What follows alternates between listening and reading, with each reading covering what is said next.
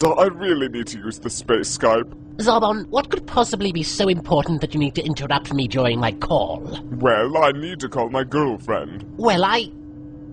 Ginyu, I'll call you back. Come again? You see, our one-year anniversary is coming up, and I want to see where she wants to go, so we can make reservations early.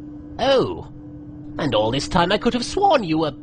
Never mind. What, you thought I was single? Well, no, I just... I thought you were into... Uh, you know, it really doesn't matter. Well, it matters to me, because frankly, it sounds like you thought I was... Lord Frieza! Vegeta's broken out of the healing... Oh no, that minion died. Could you go fix that? We'll continue this conversation never. Did he say something about Vegeta?